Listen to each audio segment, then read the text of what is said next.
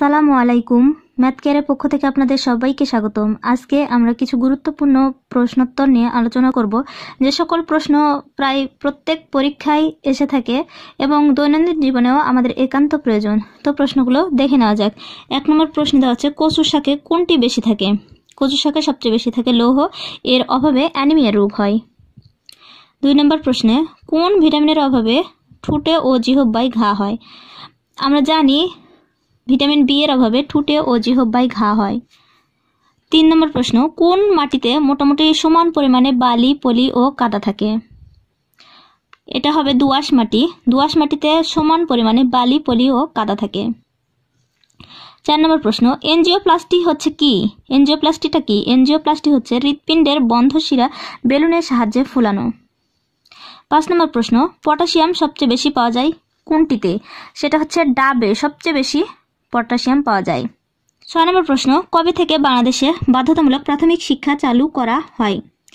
পহেলা জানুয়ারি উনিশশো বিরানব্বই সালে আটষট্টি উপজেলায় শুরু হয়, কিন্তু এটা সারা দেশব্যাপী বাধ্যতামূলক প্রাথমিক শিক্ষা চালু হয় পহেলা জানুয়ারি উনিশশো তিরানব্বই সালে।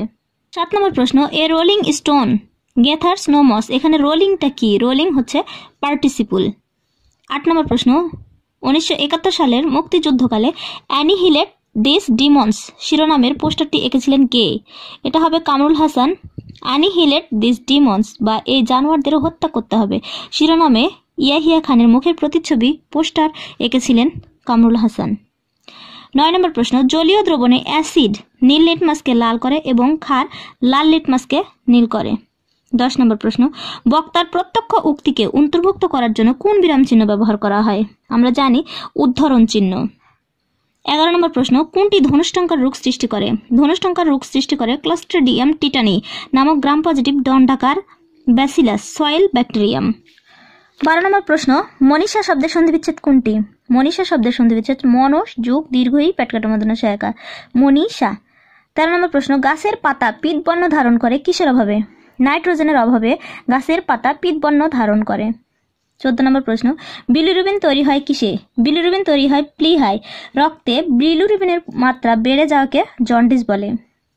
পনেরো নম্বর প্রশ্ন, জাপান পালহারপার আক্রমণ করে কত তারিখে? সাতে ডিসেম্বর উনিশশো একচল্লিশ সালে। যুক্তরাষ্ট্র এতে জাপানের বিরুদ্ধে যুদ্ধ ঘোষণা করে। ষোলো নম্বর প্রশ্ন, করোনা শব্দটি কোন ভাষা থেকে আগত? করোনা ভাষাটি প্রাচীন গ্রিক শব্দ করণ থেকে সপ্তদশ শতকের দিকে ল্যাটিন ভাষায় যুক্ত হয় করোনা শব্দটি। সতেরো নম্বর প্রশ্ন, করোনা ভাইরাসের সন্ধান মিলে উনিশশো তিরিশের দশকে।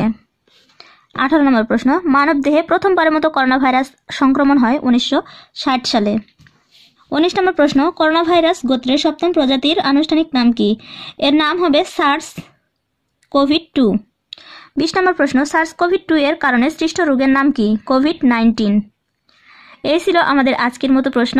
আবারও দেখা হবে বন্ধুরা। সে পর্যন্ত ভালো থাকবেন।